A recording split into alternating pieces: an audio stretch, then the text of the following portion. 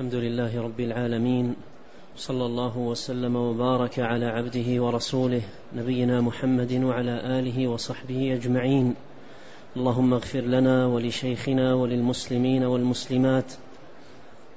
أما بعد فيقول الشيخ عبد الرحمن بن ناصر السعدي رحمه الله وغفر له الفصل الأول وأما رؤيا الفتيين حيث قال أحدهما إني أراني أعصر خمرا وقال الآخر إني أراني أحمل فوق رأسي خبزا تأكل الطير منه. فتلطفوا ليوسف عليه الصلاة والسلام أن يبلغهما بتأويل رؤياهما لما شاهدوا من إحسانه للأشياء وإحسانه إلى الخلق. ففسر رؤيا من رأى أنه يعصر خمرا أنه ينجو من سجنه ويعود إلى مرتبته وخدمته لسيده فيعصر له العنب الذي يؤول إلى الخمر وفسر رؤيا الآخر فيقتل ثم يصلب فتأكل الطير من رأسه. فالأول رؤياه جاءت على وجه الحقيقة والآخر رؤياه جاءت على وجه المثال. وأنه يقتل ومع قتله يصلب ولا يدفن حتى تأكل الطيور من رأسه. وهذا من الفهم العجيب والغوص على المعاني الدقيقة وذلك أن العادة أن المقتول يدفن في الحال ولا تتمكن السباع والطيور من الأكل منه. ففهم أن هذا سيقتل ولا يدفن سريعا حتى يصل إلى هذه الحال. وفي هذا من فضيحته وخزيته وسوء مصيره الدنيوي ما تقشعر منه الجلود. وحيث علم أن هذه الرؤيا صحيحة لا بد من وقوعها قال لهما قضي الأمر الذي فيه تستفتيان وهذا من كمال علمه للتعبير الذي لا يعبر عن ظن وتوهم وإنما يعبر عن علم ويقين. وأما المناسبة في ذلك في أن الطيور لا تقرب الحي وإنما تتناول الميت إذا لم يكن عنده أحد وهذا إنما يكون بعد قتله وصلبه. الحمد لله رب العالمين وأشهد أن لا إله إلا الله وحده لا شريك له وأشهد أن محمدا عبده ورسوله. اللهم صل وسلم على عبدك ورسولك نبينا محمد وعلى آله وأصحابه أجمعين. أما بعد فسبق أن ذكر الشيخ رحمه الله تعالى أن قصة يوسف عليه السلام فيها الدلالة على تعبير الرؤيا من وجوه وهذه من جملة الفوائد المستنبطة من هذه القصة. العظيمة قصة يوسف عليه السلام أن فيها دلالة على تعبير الرؤيا من وجوه وفيها التنبيه على الأصول التي يقوم عليها تعبير الرؤى. فذكر رحمه الله الوجه الأول الرؤيا التي رآها يوسف عليه السلام. ثم ذكر في هذا الفصل الرؤيا التي رآها الفتيان وهما فتيان دخل مع يوسف عليه السلام السجن كما أخبر الله سبحانه وتعالى بذلك ودخل معه السجن فتيان. قال أحدهما إني أراني أعصر خمرا وقال الآخر إني أراني أحمل فوق رأسي خبزا نبئنا بتأويله. إني أراني أحمل فوق رأسي خبزا تأكل الطير من. نبئنا بتأويله إنا نراك من المحسنين. وكان من شأن هذين الفتيين أنهما كما ذكر المصنف رحمه, رحمه الله تلطف مع يوسف في الخطاب وذكر ما رأياه فيه من الإحسان. إنا نراك من المحسنين. قد ذكر أهل العلم في كتب التفسير آه، أمورا كثيرة هي من الإحسان قطعا الذي كان متصفا به عليه السلام في لطفه مع من هم معه في السجن وأخلاقه الجميلة. عيادته لمريضهم تصبيره لمصابهم تسليته لمحزونهم إلى غير ذلك من الأوصاف التي هي داخلة في عموم آه، ما جاء هنا إنا نراك من المحسنين. إنا نراك من المحسنين. وهذا يستفاد منه أن من القواعد العظيمة الكبيرة التي تقوم عليها الدعوة إلى الله أن يكون الداعية محسنا معروفا بالإحسان حتى تقبل القلوب ما يقول وتقبل النفوس على دعوته. بخلاف إذا كان خلاف ذلك فإن النفوس تنفر منه. وقد قال الله سبحانه وتعالى ولو كنت فظا غليظ القلب لانفضوا من حولك فمن القواعد المهمة في باب الدعوة إلى الله عز وجل أن يكون المرء محسنا معروفا في مجتمعه بالإحسان يعرفه الناس بذلك فيطمئنون إليه ويرتاحون إليه ويرغبون في سماع كلامه ونصحه. وإذا كان في أحدهم مشكلة أو هم فإنه يستشيره لما يراه عليه من الإحسان. وهذا الذي وقع من الفتيين.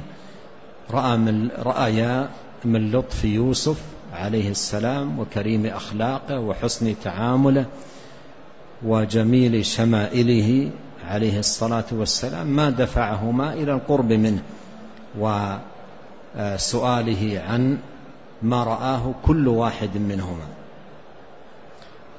وهما فتيان كل منهما رأى رؤيا. أحدهما رأى نفسه آه، يعصر خمرا رأى نفسه في المنام يعصر خمرا والآخر رأى نفسه آه، يحمل فوق رأسه خبزا تأكل الطير منه. وطلب من يوسف عليه السلام أن ينبئهما بتأويل ما رأيا في المنام. طلب من أن ينبئهما بتأويل ما رأيا من المنام ما رأيا في في المنام. وتلطفوا ليوسف مثل ما قال الشيخ أن يبلغهما بتأويل رؤياهما لما شهدوا من إحسانه للأشياء وإحسانه إلى إلى الخلق. يوسف عليه السلام لما سأله هذا السؤال الذي شغل بالهما لم يجاوب مباشرة على السؤال. ما قال مباشرة أما أحدكما فيسقي ربه خمرا وأما الآخر فيصلب فتأكل الطير من رأسه قضي الأمر الذي فيه تستفتيان. لم يجب مباشرة على السؤال. وإنما قدم بمقدمات ومهد بتمهيدات دخل منها ومن خلالها إلى إفادتهما بدرس عظيم نافع جامع واف في توحيد الله الأمر الذي خلقوا لأجله وأوجدوا لتحقيقه. وهذا يستفاد منه أن الداعي إلى الله عز وجل ينتهز كل فرصة ويهتبل كل مناسبة حتى يقدم هذه الدعوة وهذا الأمر العظيم الذي خلق الخلق لأجله وأوجدوا لتحقيقه. توحيد الله سبحانه وتعالى. فأعطاهما درسا نافعا وسيأتي الكلام عليه لاحقا عند المصنف رحمه الله تعالى. أعطاهما درسا نافعا وخلاصة وافية في توحيد الله سبحانه وتعالى. ثم من بعد ذلك أجاب عن السؤال. قال يا صاحبي السجن أما أحدكما فيسقي ربه خمرا وأما الآخر فيصلب فتأكل الطير من رأسه قضي الأمر الذي فيه تستفتيان. ففسر يقول الشيخ رؤيا من رأى أنه يعصر خمرا أنه ينجو من سجنه ويعود إلى مرتبته وخدمته لسيده فيعصر له العنب الذي يؤول إلى الخمر. يعصر له العنب الذي يؤول إلى الخمر. وفسر رؤيا الآخر بأنه يقتل ثم يصلب ثم تأكل الطير من رأسه. فالأول رؤياه جاءت على وجه الحقيقة والثاني رؤياه جاءت على وجه ضرب المثال. الأول تأويل رؤياه هو حقيقة ما رأى. الأول تأويل رؤياه هو حقيقة ما رأى. نفس الذي رآه في المنام هو تأويل رؤياه فرأى أنه يعصر خمرا فتأويل ذلك أنه يخرج من السجن ويرجع إلى مرتبته وخدمة سيده ويعصر له يعصر له العنب الذي يؤول إلى الخمر. الآخر جاءت رؤياه على وجه المثال. جاءت رؤياه على وجه المثال. رأى نفسه يحمل فوق رأسه خبزا تأكل الطير منه.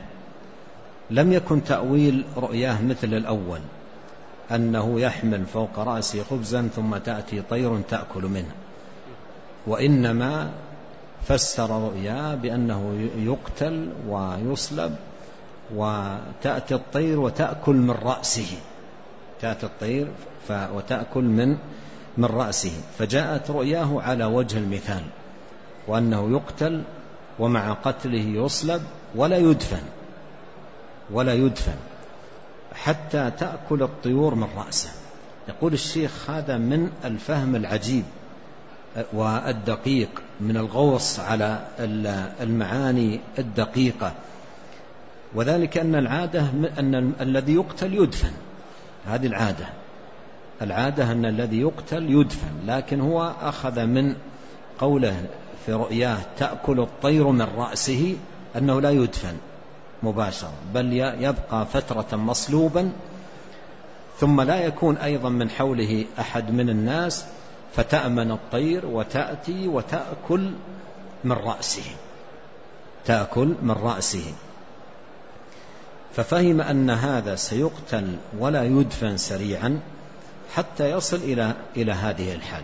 يصل إلى هذه الحال. وهذه ولا شك فيها خزي وفيها فضيحة وفيها سوء مصير دنيوي تقشعر منها آه، الجلود. وقال لهما عليه السلام قضي الأمر. الذي فيه تستفتيان. قضي الأمر الذي فيه تستفتيان. آه هذان الفتيان كما هو واضح من السياق ولا يعدل عن السياق الواضح إلا ببينة كل منهما رأى رؤيا. والذي كان من يوسف هو أنه عبر لهما ما رأيا. فما ذكر أن أن كل منهما لم يرى رؤيا وإنما قال ذلك على وجه التجربة. جاء في بعض الأخبار أن أنه قالوا نجربه. فكل منهما حدث بشيء لم يكن. كذلك ما روي أن أحدهما كان صادقا والآخر كان كاذبا. الذي قال إنه يعصر خمرا كان صادقا رأى ذلك. والذي قال إنه يحمل فوق رأس رأسه خبزا كان كاذبا لم يرى شيئا. فهذه الأقوال آه، ليس في آه، السياق ما يفيد ذلك ولا يعدل عن ظاهر السياق إلا بشيء بين واضح. ولهذا يبقى الأمر على الأصل وهو أنه فعلا كل واحد منهما رأى رؤيا. كل واحد رأى رؤيا في منامه. أحدهما رأى في منامه أنه يعصر خمرا والآخر رأى أنه يحمل فوق رأسه خبزا تأكل الطير منه. وطلب منه أن يفسر لهم ذلك. وهذا الذي أشير إليه هو قول جمهور آه، المفسرين في في معنى الآية. وأن كل منهما رأى ما أخبر عنه. أحدهما رأى نفسه يعصر خمرا والآخر رأى نفسه يحمل فوق رأسه خبزا تأكل الطير منه. تعبير يوسف عليه السلام للثاني أنه يصلب فتأكل الطير من رأسه أشار الشيخ إلى أن هذا من الفهم العجيب. وقال في تمام كلامه أما المناسبة في ذلك أن الطيور لا تقرب الحي وإنما تتناول الميت تأكل الطير من رأسه تتناول الميت إذا لم يكن عنده أحد وهذا إنما يكون بعد قتله وصلبه فهذا دقة في الاستنباط من هذه الرؤيا التي رآها الآخر. نعم. قال رحمه الله ومن كمال يوسف عليه السلام ونصحه وفطنته العجيبة أنهما لما قصا عليه رؤياهما تأنى في تعبيرها ووعدهما بتعبيرها بأسرع وقت فقال لا, يأتي لا يأتيكما طعام ترزقانه إلا نبأتكما بتأويله قبل أن يأتيكما فوعدهما بتعبيرها قبل أول طعام يأتيهما من خارج السجن ليطمئنا ويشتاقا إلى تعبيرها وليتمكن من دعوتهما قبل التعبير ليكون أدعى لقبول الدعوة إلى الله. لأن الدعوة لهما إلى الله أهم من تعبير رؤياهما. فدعاهما إلى الله بأمرين أحدهما بحاله وما هو عليه من الوصف الجميل الذي أوصله إلى هذه الحال الرفيعة بقوله ذلكما مما علمني ربي. إني تركت ملة قوم لا يؤمنون بالله وهم بالآخرة هم كافرون. واتبعت ملة آبائي إبراهيم وإسحاق ويعقوب. ما كان لنا أن نشرك بالله من شيء. ذلك من فضل الله علينا وعلى الناس ولكن أكثر الناس لا يشكرون. الأمر الثاني دعاهما بالبرهان الحقيقي الفطري. فقال يا صاحبي السجن أأرباب متفرقون خير أم الله الواحد القهار؟ ما تعبدون من دونه إلا أسماء سميتموها أنتم وآباؤكم. ما أنزل الله بها من سلطان. إن الحكم إلا لله. أمر ألا تعبدوا إلا إياه. ذلك الدين القيم ولكن أكثر الناس لا يعلمون. فإن من توحد بالكمال من كل وجه وبالقهر للعالم العلوي والسفلي المستحق للألوهية الكاملة الذي خلق الخلق لعبادته وأمرهم بها وله الحكم على عباده في الدنيا والآخرة هو الذي لا ينبغي العبادة إلا له وحده دون المعبودات الناقصة المتفرقة التي كل قوم يدعون إلهيتها وليس فيها من معاني الإلهية شيء ولا استحقاق وإنما هي أسماء اصطلحوا على تسميتها أسماء بلا معان فرأى صلى الله عليه وسلم دعوتهما إلى الله أولى بالتقديم على تفسير رؤياهما وأنفع لهما ولغيرهما. آه يقول الشيخ رحمه الله تعالى من كمال يوسف عليه السلام وكمال نصحه وعظيم فطنته العجيبة أنهما لما قص عليه رؤياهما تأنى في تعبيرها تأنى في تعبيرها يعني المتوقع والعادة أنه إذا سأل سائل عن تعبير رؤيا ما إما أن يقول إما أن يقول مسؤول لست بتأويل الأحلام من العالمين أو يفسر له رؤيا يقول رؤيا كذا وكذا. يوسف تأنى. يوسف عليه السلام تأنى. وانتهز فرصة إقبالهما عليه بالسؤال واطمئنانهما إليه عليه السلام لإيصال دعوة التوحيد إليهما. وذلك لأن الدعوة لهما إلى الله أهم من تعبير من تعبير الرؤيا. ومراعاة الأولويات معتبر ومهم. فرأى أن آه، تعليمهما التوحيد وانتهاز هذه الفرصة لتعليم تعليمهما التوحيد أولى من الدخول مباشرة في تعبير الرؤيا والنفوس الآن مستمعة له مقبلة عليه فهي فرصة فرصة ثمينة جدا. فتأنى يوسف عليه السلام في التعبير لم يعبر مباشرة. ووعدهما بتعبيرها. انظر هذا الكلام الجميل الذي قاله عليه السلام. في تأنيه وفي إشعارهما أيضا بتأنيه وأنه لن يعبر مباشرة لكن لن يطول عليهما. سيأتي التعبير. متى؟ قال لا يأتيكما طعام ترزقانه إلا نبأتكما بتأويله قبل أن يأتيكم. لا يأتيكما طعام ترزقانه إلا نبأتكما بتأويله قبل أن يأتيكم فوعدهما بتعبيرها قبل أول طعام يأتيهما من خارج السجن. لعلي أشير إلى لطيفة قد تكون يعني آه، منطبقة على الأمر آه، أو لا الله أعلم. النفوس لما ذكر الطعام متشوفة خاصة إذا كان جائعا. لكن ليس له آه، ليس له إلا أن يصبر وينتظر حتى يأتي الطعام الذي يرزقه وهو من رزقه. فقال لا يأتيكما طعام ترزقانه إلا نبأتكما بتأويله قبل أن يأتيكما آه، قبل آه، قبل أن يأتيكما. فمثل ما أنتم تصبرون في, في انتظار الطعام انت, انت اصبروا أيضا تأنوا استمعوا.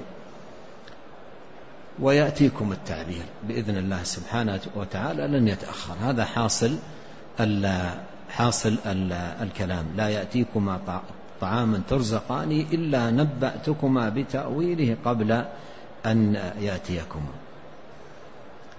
فأحدث لهما بهذا طمأنينة اطمأنوا أن التعبير سيأتي وسأعبر لكم. لن أهمل لن أترك هذا الأمر. وأيضا شوقهما إلى التعبير وأيضا هيأ هيأهما لسماع ما يقول. وهذه كلها معاني عظيمة جدا وليتمكن من دعوتهما ليكون أدعى لقبول الدعوة الدعوة إلى الله سبحانه وتعالى. هذا المدخل مهم جدا في الدعوة. هذا مدخل مهم جدا في الدعوة. ما هو؟ أن يقف الداعي إلى الله مع إنسان ما غير مسلم يقف معه في مشكلته ويتحدث معه عن مشكلته ويخبره أن عنده حل لها إذا كان فعلا عنده حل. عنده حل مناسب. من خلال هذا يقدم الدعوة أولا ثم يقدم الحل. حتى لو كان الحل مساعدته بمال أو دلالته على طريقة علاج أو, أو إلى آخره يجعل الدعوة هي الأساس. وهذا الحل لمشكلته ماذا؟ وسيلة لدعوته. وسيلة لدعوة. وهذا مسلك عظيم ويستخدمه. استخدمه كثير من الموفقين في الدعوة إلى الله. أحد الأشخاص بلغني خبره أنه تخصص في هذا المجال مع من هم في المستشفيات وعنده خبرة ببعض الأشياء فيأتي ويسأل عن صحته ويذكر بعض الآراء الصحيحة الجميلة في في الصحة في العلاج ومنها يدخل وأسلم على يديه عدد. هذا مدخل عظيم جدا في الدعوة إلى إلى الله سبحانه وتعالى. بدأ الآن موضوع الدعوة بعد التهيئة والمقدمات فدعاهما إلى الله بأمرين. أحدهما أو أحدهما بحاله. ما, ما معنى بحاله؟ أي حدثهما حديثا مختصرا عن سيرته. وخاصة أنهما قال له قبل قليل إنا نراك من المحسنين. أخلاقك جميلة تعاملاتك عالية أوصافك نبيلة. فحدثهما شيئا عن عن سيرته عن نشأته في بيت نبوة وبيت إيمان وبيت صلاح. فحدثهما عن ذلك وأن كل ما يريانه عليه من الإحسان هو منة الله عليه وفضله سبحانه وتعالى. ذلكما مما علمني ربي. علمني ربي أي خصني به علم خصني به فضلني به. يأتي سؤال هنا لماذا لماذا خصصت بذلك؟ قال إني تركت إني تركت ملة قوم لا يؤمنون بالله وهم بالآخرة هم كافرون. هذه الولاية الخاصة هذا التفضيل هذا الإنعام إني تركت ملة قوم لا يؤمنون بالله وهم بالآخرة هم كافرون. واتبعت ملة آبائي إبراهيم وإسحاق ويعقوب هؤلاء كلهم أنبياء. ما كان لنا أن نشرك بالله من شيء. العبادة لله حق لله. لا نصرف منها شيء لغير الله. مخلصين ديننا لله سبحانه وتعالى. ما كان لنا أن نشرك بالله من شيء. هذا الذي كنا عليه ونحن عليه من الإخلاص والبراءة من الشرك وإفراد الله سبحانه وتعالى بالعبادة هو منة الله علينا. ذلك من فضل الله علينا وعلى الناس. ولكن أكثر الناس لا يشكرون. بعد هذا الملخص المتعلق بسيرته قدمه كمدخل للمخاطبة المباشرة في أمر الدعوة. بعد هذا المدخل دعا دخل في الدعوة مباشرة. دعاهما بالبرهان الحقيقي الفطري. يا صاحبي السجن أأرباب متفرقون. خير أم الله الواحد القهار؟ أأرباب متفرقون خير أم الله الواحد القهار؟ آلهة متشتتة وقلب من يعبدها ويتجه إليها ممزق ومشتت. تبع لهذه التي هو متعلق بها. وهي في الوقت نفسه لا تملك لنفسها نفعا ولا دفعا ولا عطاء ولا منعا ولا حياة ولا نشورا فضلا عن أن تملك شيئا من ذلك لغيرها. أرباب متفرقون هذا التشتت والتمزق والضياع بين هذه الآلهة التي لا تملك شيئا خير أم الله الواحد القهار؟ أم الله الواحد القهار؟ الشيخ رحمه الله في تفسيره لهذه الآية من كتاب التفسير قال وهذا من استعمال أفعل التفضيل في غير بابه. هذا من استعمال أفعل التفضيل في في غير بابه. عادة أفعل التفضيل بابه أن أن يكون في المفضل عليه شيء من الأوصاف المتعلقة بالتفضيل لكن فاقه المفضل. فإذا قيل فلان خير من فلان يعني كل منهما في خير لكن هذا خير من أفضل منه.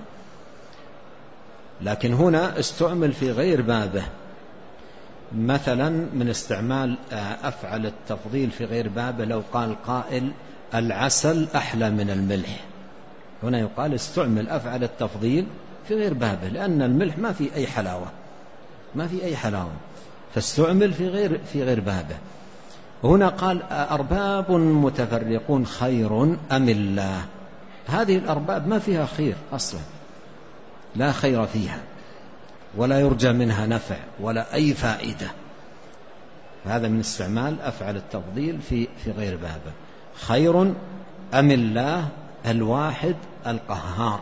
ذكر ثلاث أسماء حسنى لله سبحانه وتعالى. كل واحد منها يقتضي أن يوحد جل وعلا وحده وأن يفرد بالعبادة. الله أي ذو الألوهية والعبودية على خلقه أجمعين كما هو آه، تفسير ابن عباس لهذا الاسم. ذو الألوهية أي الذي له نعوت الجلال والكمال والعظمة. التي استحق بها أن يفرد وأن يخلص له الدين والعبودية التي فعل العبد التي يقتضيها أو تقتضيها صفات الله العظيمة ونعوته الجليلة. أم الله الواحد أي المتوحد بالجلال والكمال والعظمة والكبرياء والمتفرد بالأسماء الحسنى والصفات العليا الذي لا شريك له ولا مثال. هل تعلم له سميا سبحانه وتعالى. القهار الذي قهر جميع مخلوقاته بقدرته ونفوذ مشيئته وأنه سبحانه وتعالى على كل شيء قدير ولا يعجزه شيء في الأرض ولا في السماء. الأمر أمره والخلق خلقه. يقضي فيهم بما يشاء يحكم فيهم بما يريد سبحانه وتعالى. أأرباب متفرقون خير أم الله الواحد القهار؟ ثم يخاطبهما عن هذه الأشياء التي يعبدونها. ما هي؟ وماذا تكون؟ ما تعبدون من دونه إلا أسماء. سميتموها أنتم وآباؤكم ما أنزل الله بها من سلطان. ما تعبدون من دونه إلا أسماء. هذه الأشياء التي كانت يعبدونها هي سواء مثل الحجارة الأخرى القريبة منها التي لا يعبدونها لأن الحجر الذي يعبدونه بجواره أيضا أحجار أخرى يتجهون لهذا الحجر دون تلك الأحجار. لماذا؟ لأن هذا الحجر الذي يعبدونه أخذوه من بين الأحجار وأطلقوا عليه اسم فعبدوه. هذه خلاصة الموضوع. وإلا هو حجر مثل بقية الأحجار الموجودة بجواره وبعيدة عنه. هي كلها على شاكلة واحدة. لكن هذا الحجر المعين يعبدونه وذاك الحجر يمرون إليه ولا يلتفتون إليه ولا يعبدونه بشيء. لماذا؟ لأن هذا الحجر أخذ من بين الأحجار ونحت على صفة معينة وأطلق عليه اسم معين وحينئذ أصبح ماذا؟ معبودا. أصبح معبودا اتخذوا معبودا. إذا حقيقة هذا الذي تعبدونه مجرد أسماء. وإلا هي مثل غيرها من الأحجار. انظروا إلى ذاك الحجر وإلى الحجر الآخر والثاني كلها مثله. لكن هذا الحجر الذي تعبدونه ميزتموه عن غيره من الحجارة أنكم وضعتوه في مكان معين وأطلقتم عليه اسما معينا وعبدتموه. ما تعبدون من دونه إلا أسماء سميتموها أنتم وآباؤكم. سميتموها أنتم وآباؤكم. قل مثل ذلك أيضا في سائر المعبودات ليس في الحجارة فقط. مثلا قبر يعبد هو مثل غيره من القبور مخلوق لله لكنهم خصوه بأشياء بصفات فاتخذوه معبودا. بنوا على عليه بنايات وضعوا عليه أشياء واتخذوه معبودا. وإلا هو قبر مثل بقية القبور صاحبه من وصاحبه لا يملك. لا لغيره نفعا ولا عطاء ولا منعا ولا خفضا ولا ولا حياة ولا نشور. هذا كله بيد الله سبحانه وتعالى. كله بيد الله. ليس لأحد في ذلك شيء. ما تعبدون من دونه إلا أسماء سميتموها. أنتم وآباؤكم ما أنزل الله بها من سلطان. السلطان الحجة. ما أنزل الله بها من سلطان. قل يوسف عليه السلام ما أنزل الله بها من سلطان مثلها أيضا في سورة هود قول شعيب ما نزل الله بها من سلطان ومثل أيضا في سورة النجم. آه، أفرأيتم اللات والعزى ومناة الثالثة الأخرى ألكم الذكر وله الأنثى تلك إذا قسمة ضيزى إن هي إلا أسماء سميتموها أنتم وآباءكم ما أنزل الله بها من سلطان. هذا حقيقة يستفاد منها فائدة مهمة جدا في في هذا الباب وفي عموم أبواب الدين. ما ما ما يوجد بين الناس على وجه الأرض من عقائد وأديان وعبادات إلى آخره هذه لا تخلو من حالتين لا تخرج منهما. إما أن تكون منزلة من الله نزل بها وحي. لأن الدين لله. الدين لله. أم لهم شركاء شرعوا لهم من الدين ما لم يأذن به الله. الدين لله سبحانه وتعالى. ليس لأحد. كائنا من كان. الدين لله. يشرع ما يشاء ويحكم سبحانه بما يريد. فإما أن يكون نزل به وحي من الله أو يكون الدين الذي عند الناس نبت في الأرض ما نزل به وحي. نبت في الأرض. ما معنى نبت في الأرض؟ أي اخترعت عقول الناس. فأديان الأديان التي عند الناس إما نازلة أو نابتة. إما نازلة أو نابتة. فالدين الذي نزل بالوحي نزل به وحي من الله هو الحق فقط. هو الحق. الذي نزل به وحي من الله هو الحق لأن الدين لله. ليس لأحد سواه. وما لم ينزل به وحي وإنما نبت في الأرض. هذا باطل. فكل دين نابت في الأرض فهو باطل. ولا يمكن أن يكون الدين حق إلا إذا نزل به وحي من الله. ما أنزل الله بها ما أنزل الله بها من سلطان. إن الحكم إلا لله. هذا تقرير للمعنى المتقدم. إن الحكم لله إلا لله. الله عز وجل هو الذي له الحكم هو الذي يشرع. وهو الذي يحكم بما يريد يأذن بما يشاء يشرع سبحانه وتعالى ما يشاء يرضى ما يشاء لعباده دينا. ورضيت لكم الإسلام دينا. إن الحكم إلا لله أمر ألا تعبدوا إلا إياه. ما في شيء آخر. أمر ألا تعبدوا إلا إياه. كل هذه الأشياء التي تفعلونها ما نزل بها سلطان من كلها نبتت في الأرض وكلها من اختراع الناس وكلها ضلال وكلها باطل. ما أنزل الله بها من سلطان. إن الحكم إلا لله. أمر ألا تعبدوا إلا إياه. هذا التوحيد نفي وإثبات. إلا إياه. هذا هو التوحيد. نفي وإثبات. والتوحيد لا يكون إلا بالنفي والإثبات. نفي العبودية عن كل من سوى الله وإثبات العبودية بكل معانيها لله سبحانه وتعالى وحده. ذلك الذي شرحه لهم وبين الدين القيم. الدين القيم الدين المستقيم الواضح البين. ذلك الدين القيم ولكن أكثر الناس لا يعلمون. ولكن أكثر الناس لا يعلمون. انتهى بهذا من خلاصة وافية عظيمة في تقرير التوحيد. بعدها قال لهما يا صاحبي السجن. أما أحدكما فيسقي ربه خمرا وأما الآخر فيصلب فتأكل الطير من رأسه قضي الأمر الذي فيه تستفتيان. الشيخ يقول رحمه الله بعد أن أورد هذه الآيات يقول في تقرير ما, ما دلت عليه فإن من توحد نعم.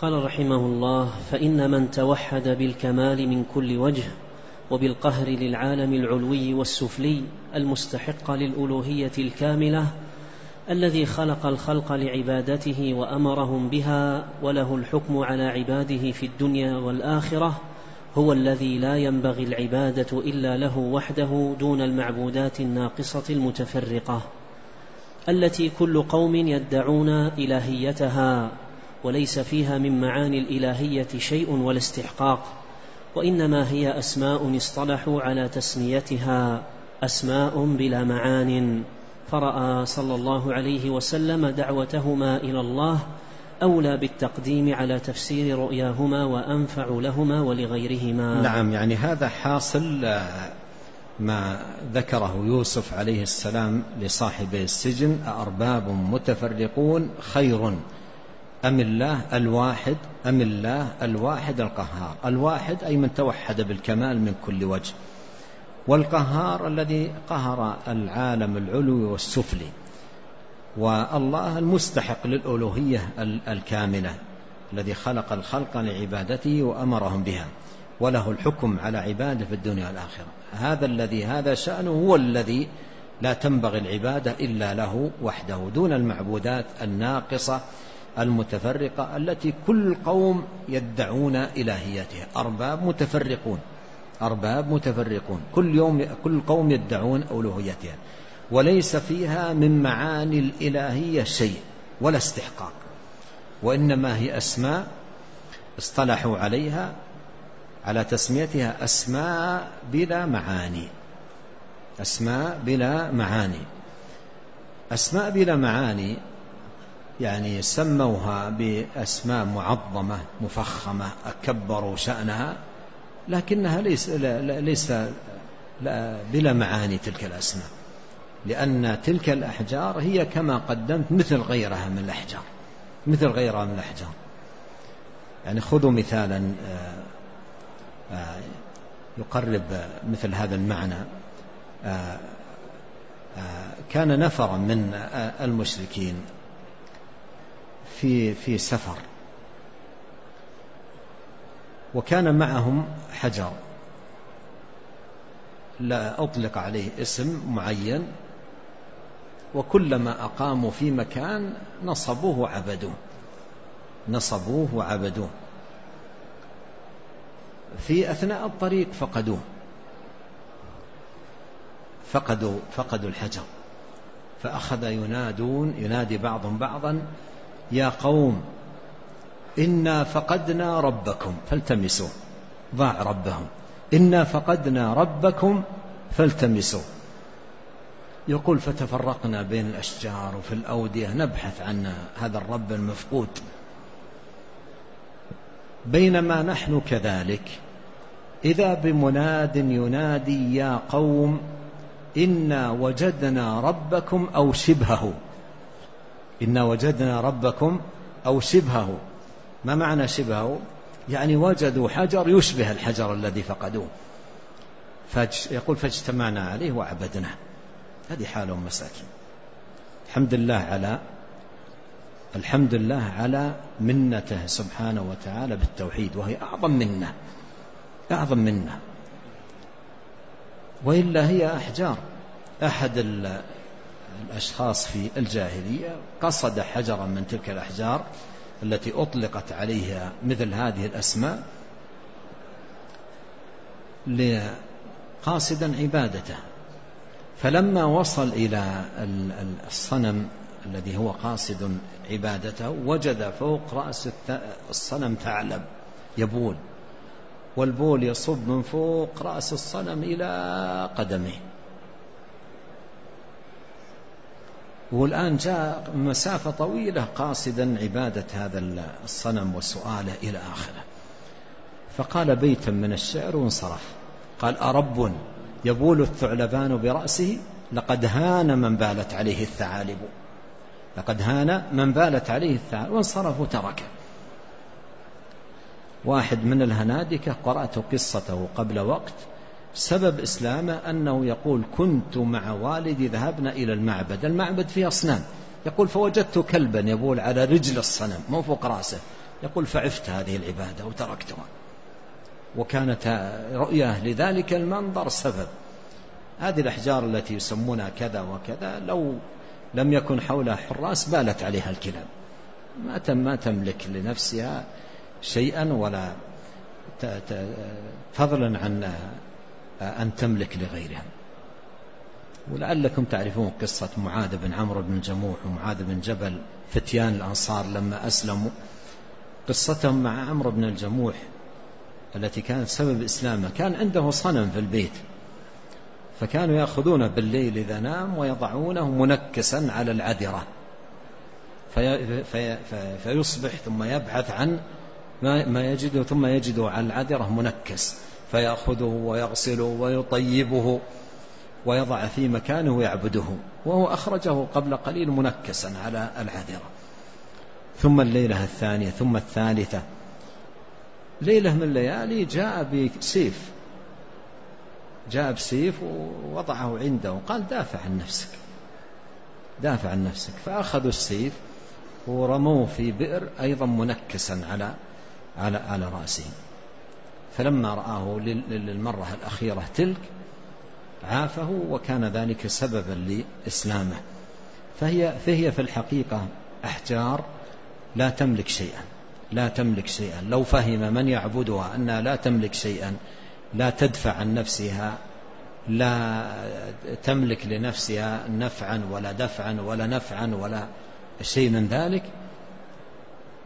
هداه ذلك إلى التخلي عن عبادتها وترك آه، عبادتها. وأن الذي يعبد هو الله سبحانه وتعالى الواحد القهار.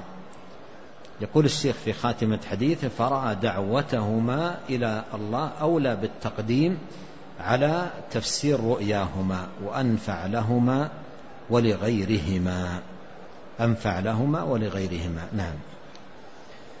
قال رحمه الله الفصل الثاني وأما رؤيا الملك فإنه رأى سبع بقرات سمان يأكلهن سبع بقرات عجاف وسبع سنبلات خضر يأكلهن ويستولي عليهم سبع سنبلات سبع سنبلات يابسات ضعيفات فهالته وجمع لها كل من يظن فيه المعرفة فلم يكن عند أحد منهم علم بتعبيرها وقالوا أضغاث أحلام وما نحن بتأويل الأحلام بعالمين.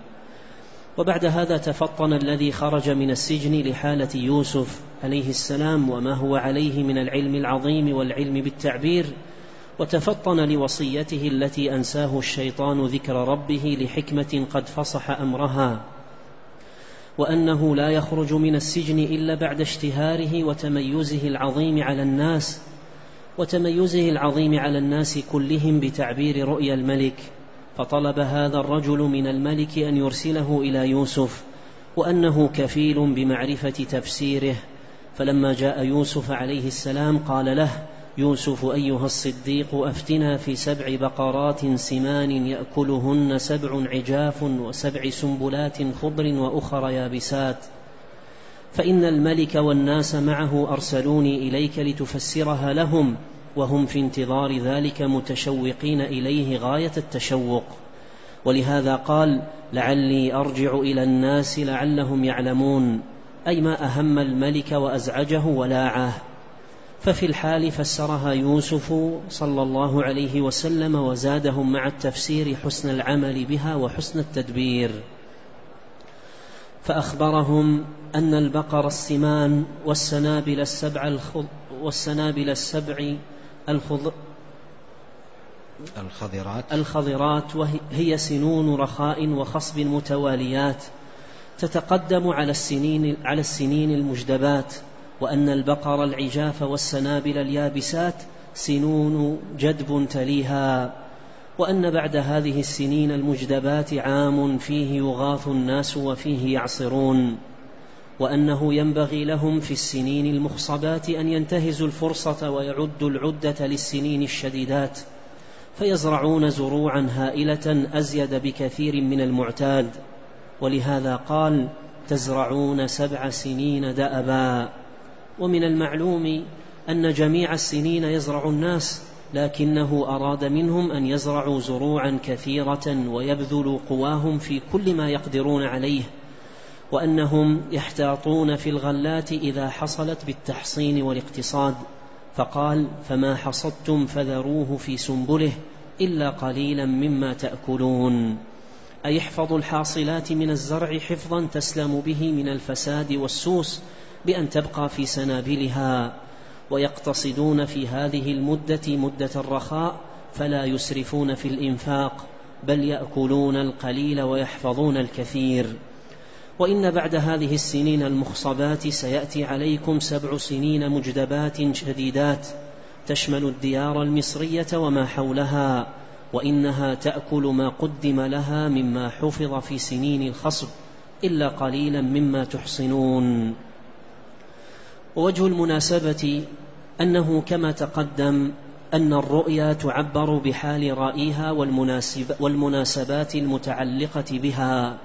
فكالرائي لها الملك الذي تتعلق به أركان الرعية وأمورها. فك. عندنا فكالرائي لها. النسخ الأخرى.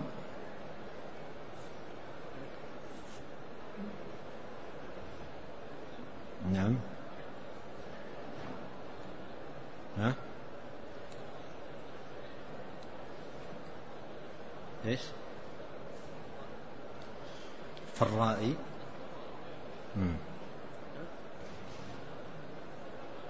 في نسخة أخرى. ها؟ بدون فاء. كالراء بها. على كل تراجع هذه. نعم. ووجه المناسبة أنه كما تقدم أن الرؤيا تعبر بحال رائيها والمناسبات المتعلقة بها فكالرائي لها الملك الذي تتعلق به أركان الرعية وأمورها. ولهذا كانت رؤياه ليست خاصة له بل تشمل الناس والرعية. ووجه المناسبة في تفسير البقرات والسنابل بالسنين ظاهرا في البقر من وجهين.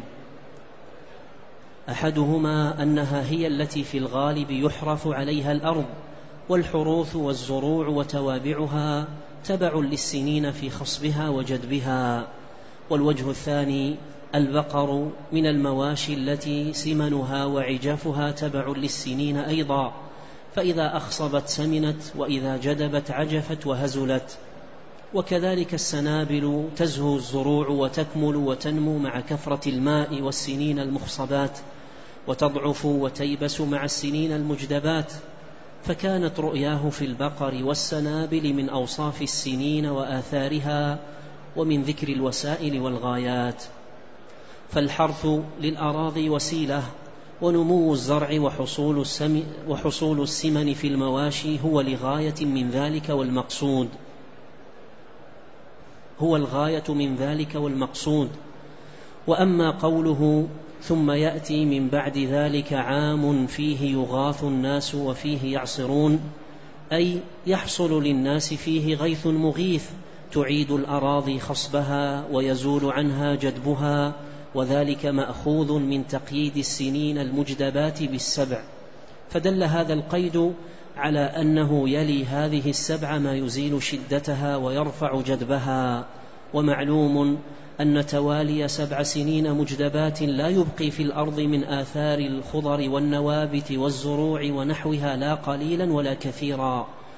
ولا يرفع هذا الجدب العظيم إلا غيث عظيم وهذا ظاهر جدا أخذه من رؤيا الملك. نعم هذا كله يؤجل إلى اللقاء القادم. وأنبه أن غدا آه، الثلاثاء لا أكون موجودا الدرس يوم الأربعاء.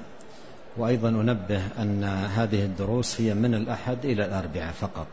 أربعة أيام الأحد والاثنين والثلاثاء والأربعاء لكن غدا آه، الثلاثاء لا أكون موجودا. سبحانك اللهم وبحمدك أشهد أن لا إله إلا أنت أستغفرك وأتوب إليك. اللهم صل وسلم على عبدك ورسولك نبينا محمد وآله وصحبه.